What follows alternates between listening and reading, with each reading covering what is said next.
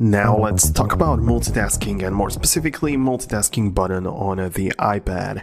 Because, uh, yeah, you probably want to get that, but there are a couple of things which you could mean by that. Because, of course, you may mean the new stage manager. So, so if you swipe down here in the control center, you can see that I have this icon, which is like a multitasking thing. It's the stage manager feature. When I enable it, uh, it just, the iPad starts to behave differently. And no matter what I do, I just can open up any app. And now I'm in the stage manager where I have some icons here on the left side. So for example, I have the Notion here. I can switch back in here. I can come back to photos and I can switch in between the apps as much as I want to. And yes, it's really simple to do. And this is what, what Stage Manager actually is. But this feature is also not available in every single version of iOS and for every iPad. So you need to be running the latest iPad OS 16 and uh, the latest version of that preferably. And also only the iPad Pro and iPad Air actually supported. So if you have an iPad Air, you need to have at least the fifth generation.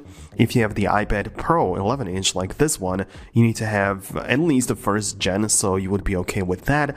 And for the iPad Pro 12 inch, then uh, for that you're gonna need uh, at least the third generation. So it's uh, tied to a specific iPad series as well as the iPad OS. And in that case, it's going to work. So this is how you can get technically the multitasking button. But as you can see here, there are also the three dots in here.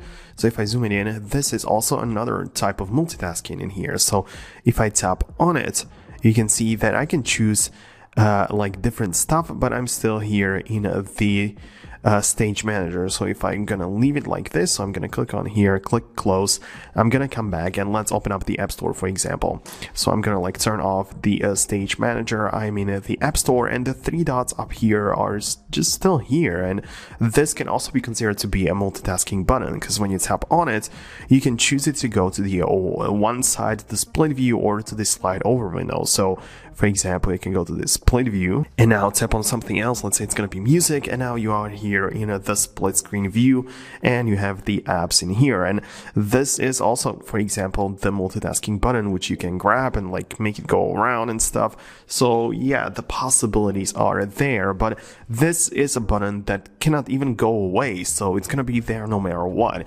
If your iPad supports it, it's going to be there. If not, then you simply will not be able to see this. So the three dots are something which, which people actually kind of like uh, complained about because you cannot get rid of it. I don't think that it's that annoying, but you cannot actually make it go away. You, there is, it's always just there. But this allows you to use it in the uh, for the multitasking uh, purposes. So this is also a multitasking button. And yes, hope this video helped you out. These are all the things that I think you should know about multitasking and using the buttons for it. So yeah, if this video helped you out, check out the next one about the iPad, more specifically how to check the battery uh, health on the iPad. So go ahead and check it out and yeah, you're going to find out how it works.